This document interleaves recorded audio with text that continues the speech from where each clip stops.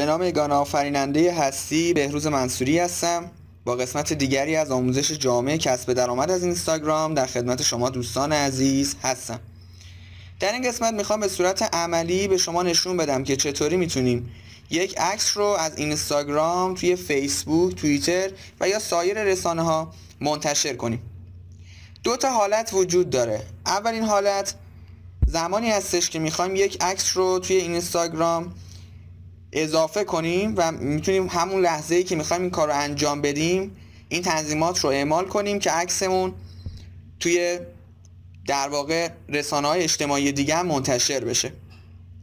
خب پس الان می‌بینید که من اینجا پست های خودم رو دارم و می‌خوام مورد اول رو تست کنم. خب یک عکس رو انتخاب می‌کنیم. برای مثال این عکس. و همونطور که قبلا هم گفتیم می‌بینید که می‌تونیم تنظیماتی رو روش اعمال کنیم فیلترهایی رو اعمال کنیم برای زیباتر کردن عکس مورد نظر.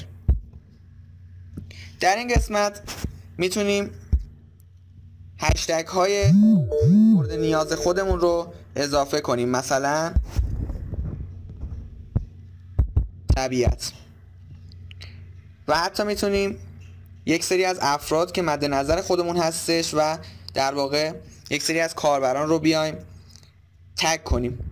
در قسمت پایین یک بخشی رو داره تحت عنوان شیر که شما اینجا می‌تونید انتخاب کنید که توی چه رسانه ای چه رسانه اجتماعی می‌خواد که این پست همزمان منتشر بشه. برای مثال اگر من فیسبوک رو انتخاب کنم از من user و پسورد فیسبوک رو می‌خواد و شما اگر یک بار اینجا ایمیل و پسورد فیسبوکتون رو بزنید و وارد بشید برای دفعات بعدی دیگه نیازی نیست این کار رو انجام بدید و شما وقتی که روی هر کدوم از این حالت ها کلیک کنید هر کدوم از این شبکه های اجتماعی رو انتخاب بکنید خیلی راحت پست شما رو توی اون شبکه ها هم منتشر می‌کنه و کافیه که شما منتشر بکنید این پستتون رو و خیلی راحت توی اون شبکه ها قرار می‌گیره. اما حالت دوم زمانی هستش که شما می‌خواد یکی از پست هایی که قبلا منتشر کردید رو بیاید حالا توی شبکه اجتماعی دیگه ای قرار بدید. برای مثال این پست رو در نظر می‌گیریم.